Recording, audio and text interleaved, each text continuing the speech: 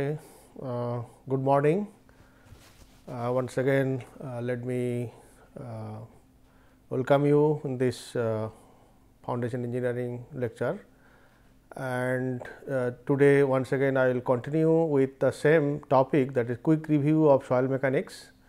And I have discussed already two aspects. One is origin of the soil, and another is classification, engineering classification and today I will again uh, try to uh, cover this weight volume relationship and effective stress concept which is actually very much essential in every calculation in fact. And sometime uh, when we will actually solve the foundation problem, we may not go in detail about that uh, as you uh, assuming that we have the enough background and we quickly calculate that. So, since you have to use frequently these things, so I am just reviewing quickly and let me go to the uh, first slide uh, that is weight volume relationship. Actually, you can see that uh, when the soil mass is idealized, dry soil mass if you idealized, then what you will get actually you can idealize the all solid part together and suppose uh, uh, like this uh, you can this is the total volume of the solid then when uh, uh, the soil and then if I idealize the solid part and put together this this is the volume of solid suppose and this is the air. When it is a dry soil there will be two phases only air and uh, solids. And again uh, when this air is uh, fully uh, filled up by water only then it will become it is called saturated soil and then it will be again still it will be two phase diagram and it will be solid and water the water volume will be replaced by air volume and solid will be as it is and uh, this is a saturated soil and this water whatever uh, whether it is water or air we generally call it as a void. So, this is the within the soil mass whatever the voids are there it can be either filled up by air or by water. So, this is the one. So, uh, both are actually two phase diagram when it is completely dry or completely uh, saturated both cases in two phases either water solid or air solid. But in most cases uh, soil will be in the three phases. Partly will be filled up by air, partly by water. The entire void space will be two parts now. Partly the whatever air voids are there if you put together this may be the volume of air and whatever water present in the soil mass that you put together this may be the volume of water. So, and solid remain unchanged. So, this is the three phase diagram and uh, this is uh, if I give these all notations and then uh, you can uh, uh, have a number of things uh, based on these we have defined number of parameters like void ratio which is equal to volume of void by volume of solid then porosity again volume of void by total volume and interestingly you can find out if this is the definition then what will be the value of void ratio minimum value and maximum value. Uh, it, it, if it is a if you imagine the soil is completely filled up by solid and there is no voids okay, then void become 0 and then your uh, solid become full then it becomes 0 and you can see you can imagine other side also that the soil mass is very very negligible and become close to 0, then in that case this become 0 and this become entire volume, then that become a very large value. That means theoretically void ratio can be uh, between 0 and infinity, but most of the time it will have a finite value. That means it can go beyond 1 also. Void ratio 1, 1.5 that also possible. Similarly, porosity if I see this diagram then this value ratio of course, they have definite relationship between porosity and void ratio, but from this definition again we can see that uh, porosity can vary only between 0 and 1. So, you can see the from the definition. Uh, next is that uh, GS, GS is nothing but total solid present divided by uh, Vs gamma w and these are the different definition we use and rho w is 1 gram per centimeter meter cube or 1 megagram per meter cube.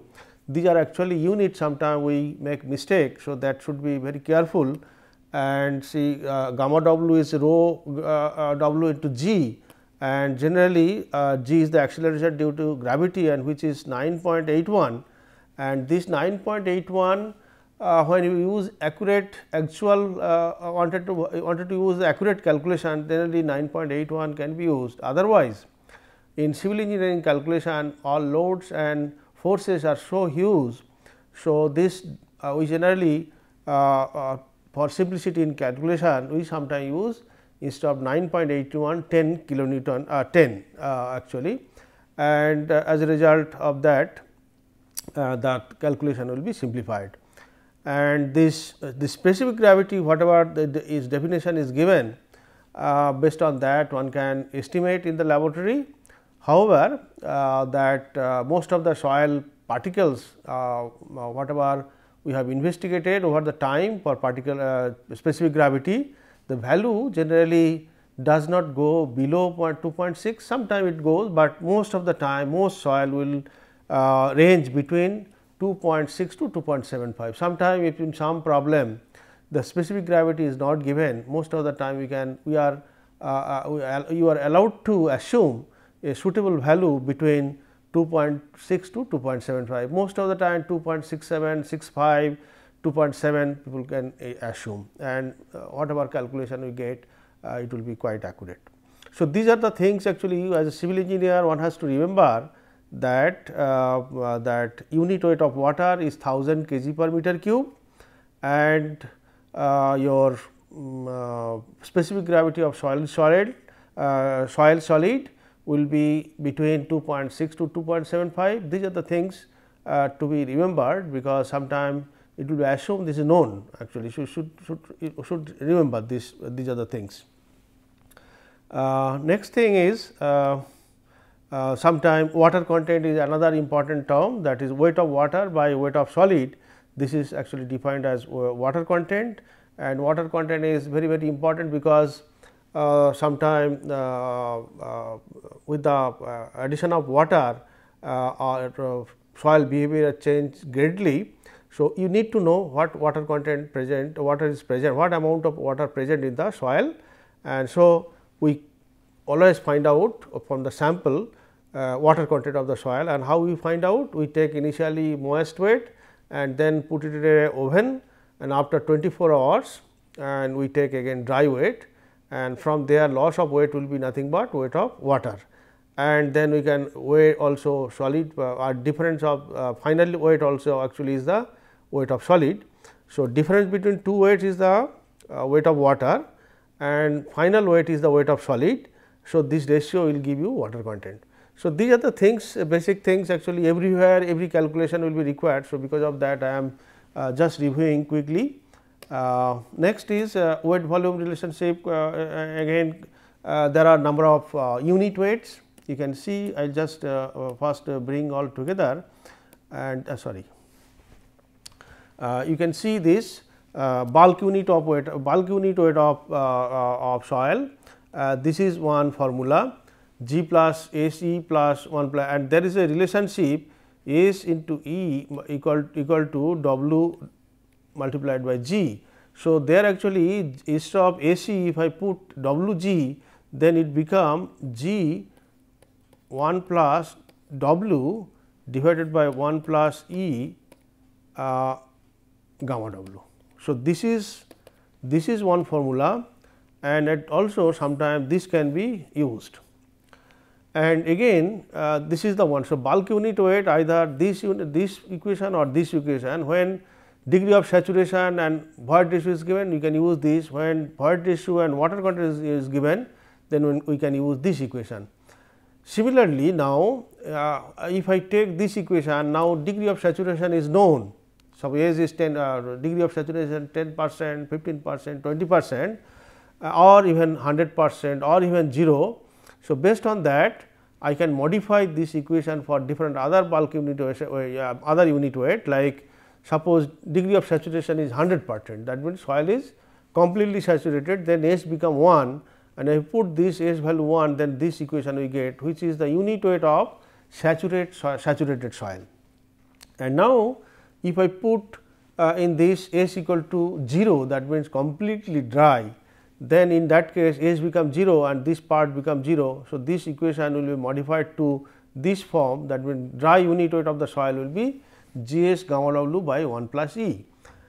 So, there are uh, bulk unit weight, saturated unit weight and dry unit weight and next actually sometime buoyant unit weight that means water when it is underwater this will have buoyant unit weight, which will be acting actually. So, the buoyant unit weight of the soil will be saturated unit weight minus unit weight of water and if you do that the saturated unit weight of this and unit weight of water this and then if I uh, subtract then I will arrive at this equation so it means g minus 1 by 1 plus e into gamma w. This is also sometime uh, unit weight not, sometimes not given, but you know the g value and if you know the e value then uh, below water table unit weight you can calculate from this equation. Similarly, uh, if, the, the, if it is uh, unit weight is not given, but degree of saturation or water content is given and void ratio is given, then either using this equation or this equation we can find out the bulk unit weight. Similarly, if it is a dry unit weight suppose uh, you want to find out dry unit weight and you need, if you know the void ratio then we can find out by using this equation. So, these are the things that we need to know sometime uh, void ratio is one of the important parameter then degree of saturation or water content. So, if you know those things gamma w always you can assume as 9.81 or 10 and then rest of the calculation can be done. And there is a relationship between bulk unit weight and the dry unit weight. So, this is the another relationship gamma bulk will be equal to gamma d by gamma d will be equal to gamma bulk by gamma w. So, this also can be established by uh, using uh, the uh, all uh, parameter whatever we have introduced and uh, gamma d if you know the gamma bulk and if you can find out the water content then you can find out the gamma dry also. That means, partially saturated soil. So, those are the things I have told it is a completely this is ideal that means either saturated or dry but bulk unit weight is the in between stage. Most of the soil in the construction soil will have partially uh, uh, saturated. That means uh, water content will be there uh, less than saturated. In that case you can find out the bulk unit weight by either this and this, but how to find out the dry unit weight? If you know the water content then by this. And this is very very important in many road construction because when you construct the road uh, the the construction material that means soil is uh, recommended based on the dry unit weight that you have to achieve the this much dry unit weight and best. So, because of that you have to select number of sites and from those sites again uh, you have to uh, uh you have to carry out this uh, Proctor test and then find out uh, you have to find out what is the maximum dry unit weight can be achieved and based on that we can select the site and when you will come to the site and during construction you know that what unit weight you have to achieve then what you have to do time to time during construction you have to sample it get the uh, bulk unit weight by some mechanism and then determine the water content and then you will get the dry unit weight. When you see that dry unit weight achieved and dry uh, unit weight recommended they are close enough then we can certify the construction is done as per as per specification. So, that is the thing uh, uh, this, this gamma d is very very useful most of the time in embankment construction.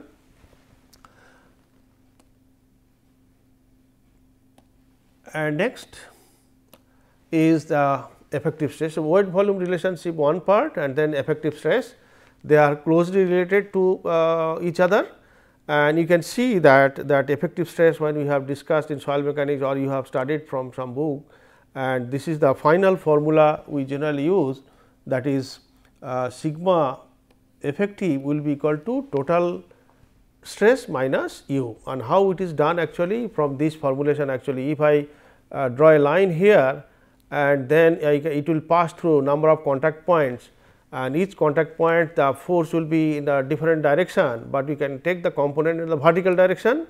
And if I uh, write equation of equilibrium in the vertical direction then you get this equation and as per then if we divide by a in all sides then you will get this equation and as per definition uh, sigma total stress equal to actually P applied over the cross sectional area. So, this is sigma and by definition actually summation of all, all normal component divided by the area is the effective. This is our definition which may not be correct actually the you are dividing by the total area. Okay. So, that is not actually contact points will be much less than the actual area, but this is as per our definition the effective stress is defined at that, that at the different contact points whatever normal components are there summation of all normal components divided by the total area is defined as effective stress. So, if I do this then this becomes so this equation modified to this equation and then equation to modified to this way sigma equal to sigma dash plus u. Sigma dash is nothing but effective stress. Effective stress. Sometimes some book it is write by sigma bar. So both are same and we can use any of them. And so this become like this, but we are interested to find out some sigma effective that uh, effective stress. So, effective stress if I express different separately then it become sigma minus u. So, that means if there is a ground here like this and if I want to find out and water table suppose also here then I if I want to find out the effective stress here then what I have to do? I have to find out the uh, uh, the total load acting over this divided by area and if I consider a unit area here, if I consider unit cross sectional area and this length of the column is L, then total volume will be unit area multiplied by L, this become the volume and if I multiply by unit weight that become the W actually and then W the total weight divided by area again equal to 1 so, that means it become nothing but uh, uh, uh, so this is this sigma this sigma is nothing but actually uh, this uh, weight by area. Uh, so, that is actually nothing but gamma times since it is unit weight unit length. So, it is only gamma times L gamma times L is enough to find out the total stress at this point. So, similarly, uh, if you want to find out the water pressure at this point, so yeah, I can consider again a unit uh, column of water here. Uh, so, at this point total weight of water will be again unit weight 1 multiplied by L multiplied by gamma W and this divided by 1 by 1. So, this is nothing but gamma W. So, u equal nothing but gamma W into L. So, that means total stress will be equal to gamma of water uh, sorry gamma of soil multiplied by the depth at which you want to find out the total stress. Similarly, if you want to find out the water pressure at a particular depth, then unit weight of water multiplied by the depth at which I want to find out the water pressure will be equal to the pore water pressure. That now we have got two components, this becomes sigma, this become u then I can find out what is the effective stress acting here that is sigma minus u. So, this is the way actually we need to uh, calculate. Uh, now, so th this is the uh, uh effective stress concept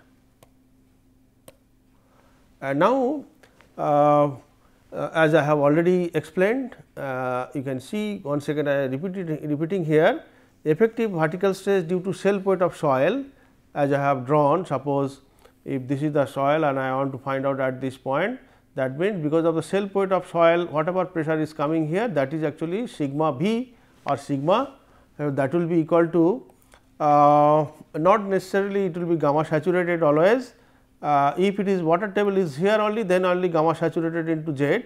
Otherwise if it is a uh, partially saturated then it will be gamma bulk into Z. So, this is the uh, uh, sigma v. And pore water pressure will be again uh, uh, if I consider water table is here and then this is the depth is z then your uh, you, you, uh, pore water pressure equal to gamma w into z and assume that water table is here then this equation also valid for sigma v. Now, sigma dash will be ultimately sigma v minus u and that is actually gamma sat minus gamma w into z that means gamma submerged multiplied by z. So, gamma submerged how to find out? if you know that is actually sometime g minus 1 by 1 plus E multiplied by gamma w we can use it or if I can find out gamma bulk and minus gamma w by, by, by direct calculation of these two parameter we can do this or if you know the specific gravity and void ratio we can also find this this way. So, this is the uh, uh, calculations procedure for effective stress.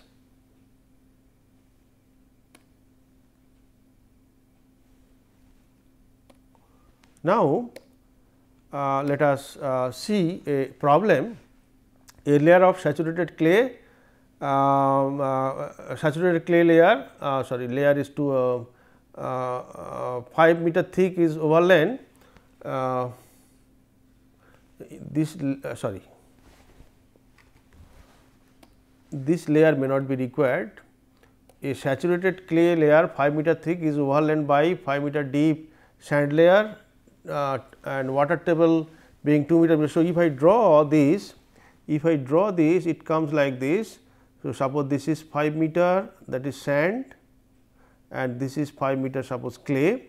So, this is suppose clay and this is suppose sand and, and water table is somewhere here that means this is 2 meter, this is 3 meter and this is actually your uh, 5 meter. And you can see that the the unit weight unit of clay is uh, 19 and sand is 20 and uh, and water sand unit weight above water table is actually given 17. So, now if I want to find out the effective stress at different location that means I want to find out at this location I want to find out at location water table location, I want to find out the in between layer, I want to find out at the bottom of the layer.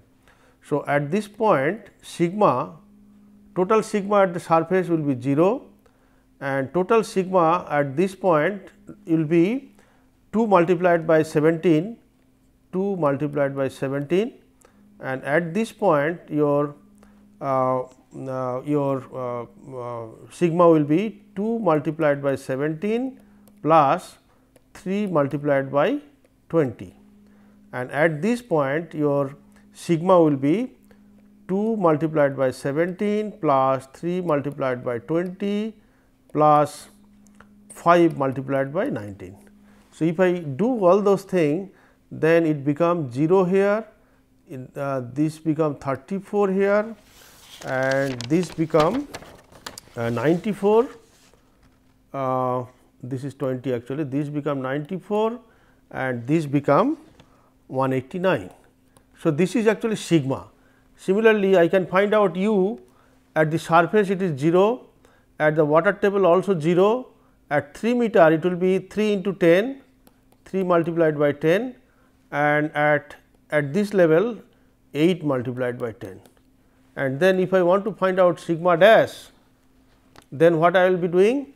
I will be doing 0 minus 0 at this surface actually effective stress is 0 and then at water table level that is 2 meter depth. So, it is 0 at 2 meter depth it will be 34 and at 5 meter depth it will be 94 minus 30 that will be 64 and at 10 meter depth it will be 189 minus 80. So, it will be 109.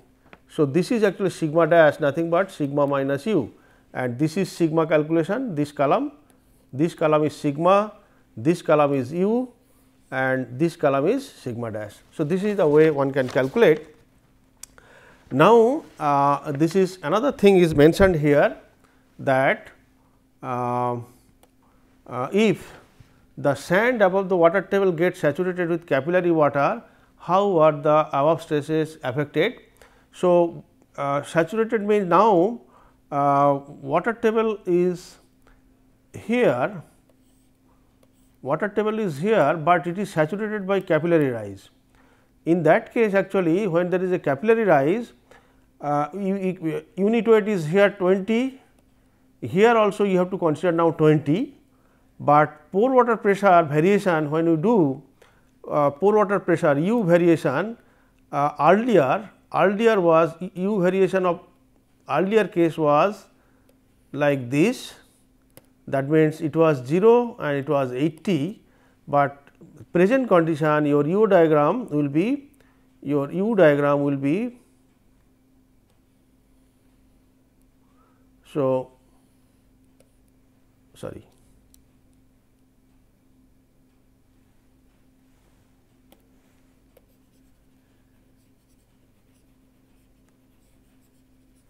So, so your uh, U diagram will be something like this. That means above water table when water is getting up that will be negative. This will be minus and this will plus. This will be same 80, but there will be minus 2 multiplied by 10. So, when the it is not saturated this was the pore pressure diagram. And when it is saturated uh, or by capillary rise this is the pore pressure diagram. This is the difference in pore water pressure will be observed. And in addition to this uh, there will be little change in effective stress also because total stress will change now. So, how much change will be there the this depth we have considered total unit weight uh, earlier we have considered uh, uh, 17 into multiplied by 2, but it will be taken now 20 multiplied by it will be taken multi, it will be total uh, will be uh, 20 multiplied by 2 or actually I can take 20 multiplied by 5, 20 multiplied by 5 plus 19 multiplied by 5. So, it will be 195. So, there is a change in total stress it was uh, 189 now it become 195 and if I want to find out effective stress at, at this point now before it was 80, 189 minus uh, 189 minus 80 it was 109, now it become 195 minus 80. So, it will become 115. So, this there is a little change in effective stress. So, because of this, so these are actually the minor changes when the water uh, soil above the water table gets saturated. So, there will be change in pore water pressure diagram and again there is one more change effective stress theoretically at the surface will be total stress is 0, 0 here at this point total stress is 0, 0 minus minus u. So, it will become 20 at this surface theoretically. Okay. So, this is the only change we can find out uh, when a soil is get saturated. So, this is the thing very frequently uh, will be used in effective stress calculation in many calculation particularly in compressibility problem. Uh, you need to know or shear strength problem also you need to know what is the effective stress at any depth because shear strength is function of effective stress, compressibility also function of effective stress and every frequently we calculate this. So, because of that I have once again elaborately uh, uh, uh, uh discussed this. Uh, next is a variation is effective as already I have highlighted uh, variation in effective stress with the shift in groundwater table. You can see for water table below the ground surface, a rise in water table cause a decrease in effective stress and a fall in water table produces a increase in the effective stress. So, that means, uh, if your uh, if your water table somewhere here and then if water table goes up suppose because of the seasonal variation water table goes up, then what will happen?